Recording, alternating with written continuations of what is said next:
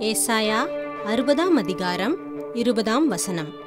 உன் சூரியன் இனி அஸ்தமிப்பதும் இல்லை உன் சந்திரன் மறைவதும் இல்லை கர்த்தரே உனக்கு நித்திய வெளிச்சமாயிருப்பார். உன் துக்க நாட்கள் முடிந்து போம்